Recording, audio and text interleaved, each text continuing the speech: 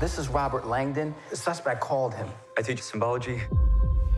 Did this person say what he wants? He wants me to locate an ancient portal buried within the capital. And that means something to you? Didn't until I saw that. It's your dad. It had his ring. Tell me what's going on.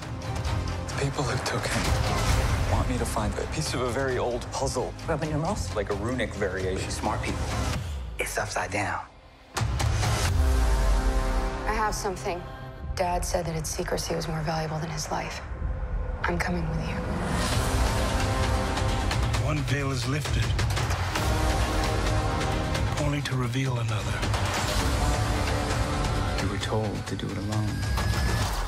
He has my father. He has a literal assassin. And that's what it's going to take to get me to stop. I want to know how far Robert Langdon has gotten. It's a cipher. for All who seek must also fall. Yeah, I'm more of a Sudoku guy. They can't stop. It's just begun.